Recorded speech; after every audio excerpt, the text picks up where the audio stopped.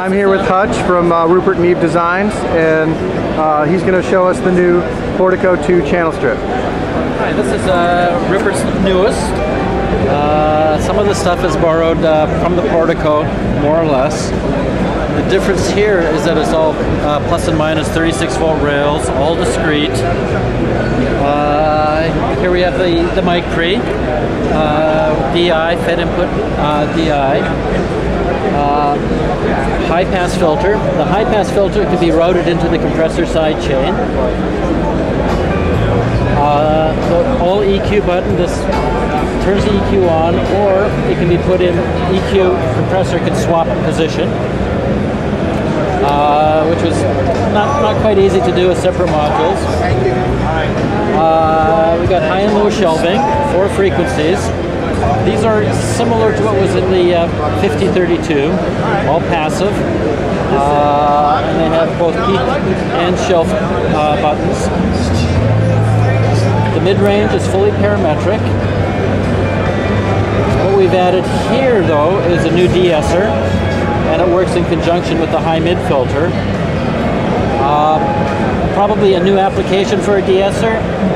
It's the ideal thing for removing pesky hi-hats from snare drums. And it's an old, neat sounding kind of thing. It's amazing on drums. Compressor.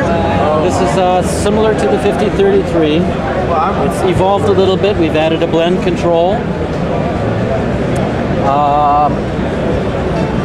there's a fast attack button that's not, not on this unit, it's over there on that one.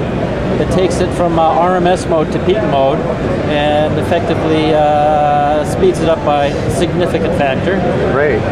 It's nice that you have that blend feature. That's good for like parallel compression oh, on drums. works amazing. It's yeah. really, really handy.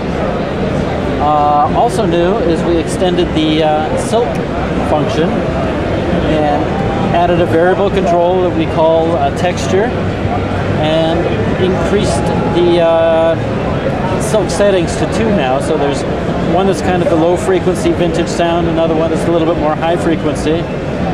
Uh, so it just cycles through those.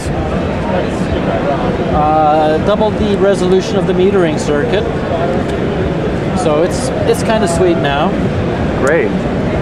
And uh, it all works. Yeah, it looks great. Thanks for your uh, time. Price is about 32.5. Great. So it's in, in a sweet spot that way.